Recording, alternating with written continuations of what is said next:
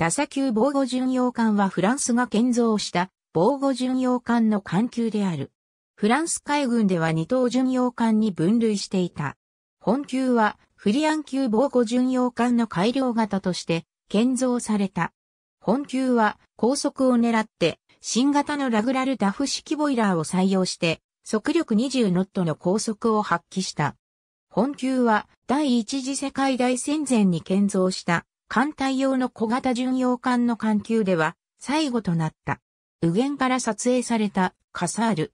船体形状は当時、フランス海軍が主力艦から警艦艇に至るまで主に導入していたタンブルホーム型船体である。これは水線部から上の構造を複雑な曲線を用いて引き絞り、船体重量を軽減できる船体方式で他国では帝政ロシア海軍やドイツ海軍、アメリカ海軍の全土級戦艦や巡洋艦にも採用された。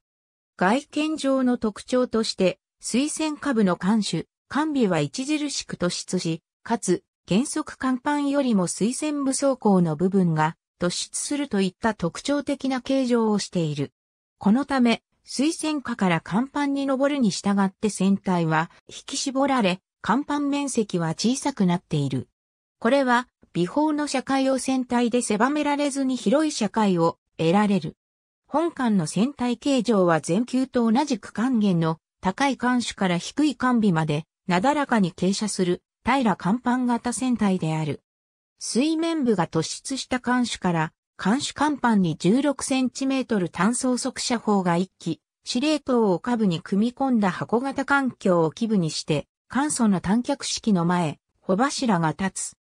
その背後の等間隔に並んだ3本の煙突の周囲は関西艇置き場となっており、片弦2本ずつを1組として、片弦3組、計6組のボートダビットにより運用された。後部甲板には簡素な短脚式のミズンと16センチメートル単装速射砲が後ろ向きに1機である。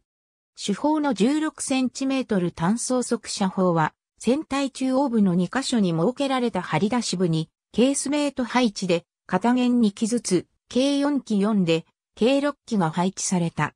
この武装配置により守備線方向に最大16センチメートル砲3門、左右方向に最大16センチメートル砲4門、14センチメートル砲2門が施行できた。ありがとうございます。